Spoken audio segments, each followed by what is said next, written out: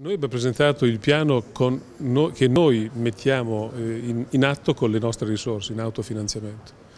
Sono 3 miliardi di investimenti per i treni nuovi del trasporto locale che sono già, stati, sono già in costruzione, stanno venendo fuori, già alcuni sono usciti dagli stabilimenti, alcuni li vedrete oggi e nei due anni prossimi avremo tra treni nuovi, più di 200, e treni ristrutturati come nuovi, 500 mezzi nuovi da dare al trasporto locale. Quindi una svolta, una svolta importante. Noi stimiamo che occorrono altri 3 miliardi e speriamo che queste cose vengano da delle risorse pubbliche, così come avviene in altri paesi tipo Germania, Francia, che permettono di poter avere quindi risorse aggiuntive per poter fare un servizio che naturalmente bisogna ricordare ha caratteristiche sociali, non è certamente profittevole.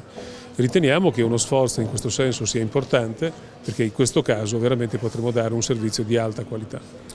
3 miliardi di euro per ammodernare la flotta Trenitalia e innovare le tecnologie al servizio del business e dei clienti. 80 milioni di euro destinati all'acquisto di 496 nuovi bus per Bus Italia che arricchendo l'offerta del gruppo con il trasporto su gomma consente a FS italiane di proporsi come operatore integrato ed efficace interlocutore unico dei committenti pubblici.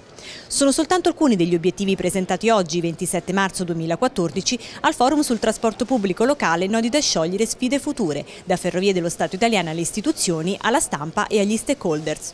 Tanti investimenti nelle infrastrutture, specialmente nelle grandi aree metropolitane. Noi abbiamo due obiettivi, garantire nuove tracce, più tracce all'interno delle grandi aree urbane e maggiore velocità sulle tratte di accesso. In più separazione dei flussi in maniera tale da evitare interferenze fra i vari servizi che interessano le grandi aree metropolitane. Investimenti ce n'è, non sufficienti per far tutto, ma contiamo negli anni prossimi con un contratto di programma molto più impegnativo per entrambi, per il MIT e per noi, di raggiungere in quattro anni un grande risultato sui grandi aree metropolitane.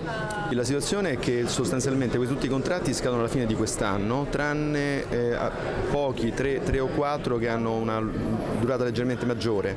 Oggi abbiamo crediti per circa un miliardo e 350 milioni, quindi una situazione molto pesante in termini di scaduto. C'è un'emergenza credo da affrontare per dare continuità a questi contratti. Oggi abbiamo fatto una proposta alle regioni che consente di affrontare con serenità lo sviluppo del mercato e l'apertura del mercato attraverso le gare, ma continuare a dare investimenti e dare qualità a chi usa i treni. L'obiettivo di Ferrovie dello Stato oggi tramite la sua partecipata Bus Italia è di dimostrare che può crescere in Italia una grande azienda di trasporto pubblico locale facendo un buon servizio integrato col ferro e mantenendo un livello di efficienza da impresa.